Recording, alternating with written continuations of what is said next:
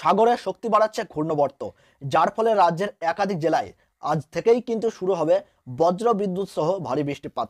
আজ রাত থেকেই দক্ষিণবঙ্গের প্রায় প্রত্যেকটি জেলাতেই আগামী তিন দিন পর্যন্ত লাগাতার বৃষ্টিপাতের লাল সতর্ক বার্তা জারি করে দেওয়া হয়েছে। এমনটাই কিন্তু পূর্বাভাস রয়েছে আবহাওয়া দপ্তরের। বঙ্গোপসাগরের এই ঘূর্ণবর্তের জেরে আজ থেকেই রাজ্যের উত্তরবঙ্গ সহ দক্ষিণবঙ্গের পাশাপাশি বাংলাদেশের কোন কোন জেলায় থাকছে বজ্র বিদ্যুৎ সহ ভারী বৃষ্টিপাতের পূর্বাভাস? এবং এই বৃষ্টি আগামী কতদিন পর্যন্ত কোন কোন জেলায় সব থেকে বেশি পরিমাণে হতে চলেছে? এবং কোন কোন জেলায় এই ভারী বৃষ্টির জেরে বন্যার সতর্কবার্তা জারি থাকছে? তো এই বিষয়ে আবহাওয়া দপ্তর কি জানাচ্ছে? তো তাই কিন্তু আমি আজকে আপনাদেরকে জানিয়ে দেব এই ভিডিওটির মাধ্যমে। তো বিস্তারিতভাবে জানতে হলে অবশ্যই ভিডিওটিকে শেষ পর্যন্ত মনোযোগ সহকারে দেখবেন এবং আপনার জেলার আবহাওয়ার যে কোনো গুরুত্বপূর্ণ খবরের আপডেট সবার প্রথমে পেতে হলে অবশ্যই নিজের জেলার নামটি কমেন্ট বক্সে জানিয়ে রাখবেন এবং চ্যানেলটিকে সাবস্ক্রাইব করে পাশে থাকবেন। তাহলে চলুন এক নজরে দেখে নেওয়া যাক। দক্ষিণবঙ্গে সারাদিন রয়েছে আর্দ্রতাজনিত অস্বস্তি এবং উত্তরবঙ্গের কোনো কোনো জেলায় লাগাতারভাবে টানা বৃষ্টি হয়েই চলেছে। আবহাওয়া দপ্তর জানিয়েছে, আগামীকালের পর থেকেই কিন্তু উত্তরবঙ্গের আবহাওয়ার উন্নতি ঘটবে এবং অপরদিকে সাগরে তৈরি ঘূর্ণবর্তের জেরে দক্ষিণবঙ্গের জেলায় জেলায় কিন্তু শুরু হবে ভারী বৃষ্টিপাত। আবহাওয়া সূত্র অনুযায়ী জলপাইগুড়ি, আলিপুরদুয়ারে কিন্তু থাকছে প্রবল ভারী বৃষ্টিপাতের পূর্বাভাস।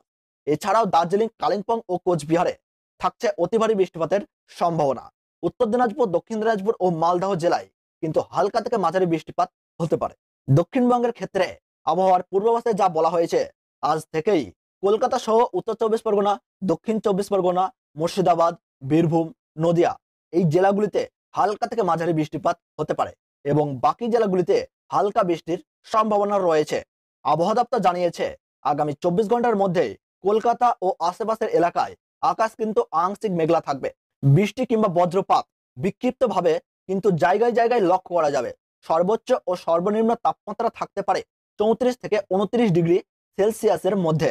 আবহাওয়া দপ্তর জানিয়েছে দক্ষিণ পশ্চিম বঙ্গোপসাগরে তামিলনাড়ুর উপকূল পর্যন্ত একটি ঘূর্ণবর্ত অবস্থান করছে, যা কিন্তু ক্রমশই শক্তিশালী হতে পারে।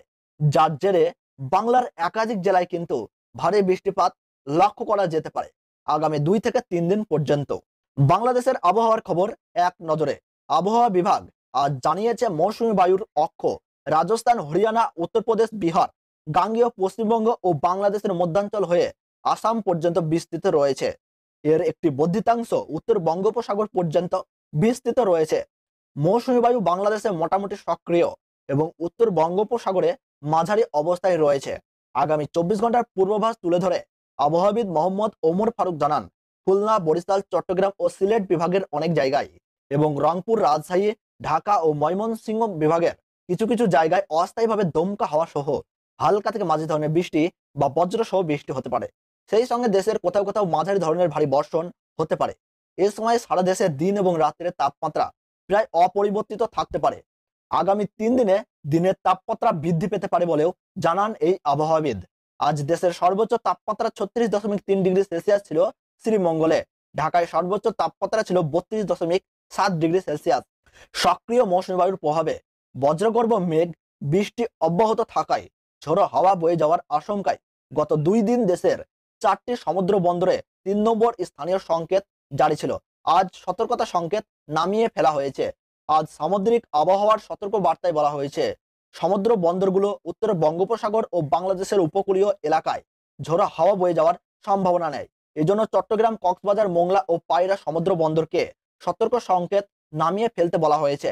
আগামী চব্বিশ ঘণ্টা পর্যন্ত দেশের অভ্যন্তরীণ নদীবন্দরগুলোর জন্য আবহাওয়ার পূর্বাভাসে বলা হয়েছে, ঢাকা, ফরিদপুর, খুলনা, বরিশাল পটুয়াখালী, নোয়াখালী, কুমিল্লা, চট্টগ্রাম, কক্সবাজার এবং সিলেট অঞ্চলের উপর দিয়ে দক্ষিণ বা দক্ষিণ পূর্ব দিক থেকে ঘন্টায় পঁয়তাল্লিশ থেকে ষাট কিলোমিটার বেগে অস্থায়ীভাবে দমকা বা ঝোড়া হওয়া সহ বৃষ্টি বা বজ্র সহ বৃষ্টি হতে পারে। এইসব এলাকার নদীবন্দরগুলোকে এক নম্বর সতর্ক সংকেত দেখাতে বলা হয়েছে।